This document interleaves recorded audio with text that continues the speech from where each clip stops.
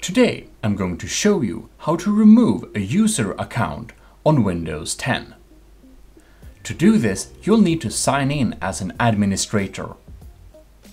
Then you click the Windows button and select Settings.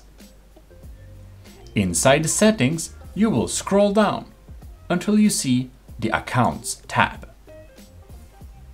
Under the Accounts section, you can click Family and Other Users.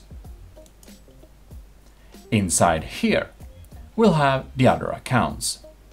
Click on the account you want to delete, and then you will select Remove.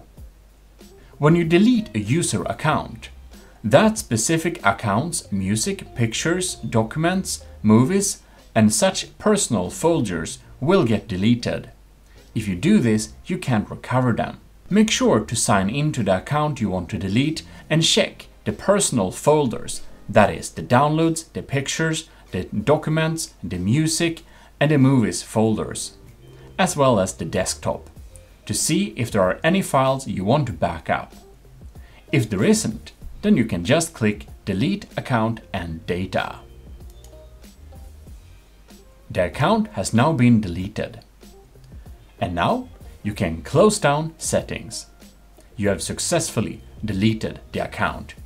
If you want to clear up a lot more space on your Windows 10 computer or do a lot of other stuff, we have tons of tech tutorials and other videos ready for you. Subscribe today and do like this video. This has been Jim and we're signing out.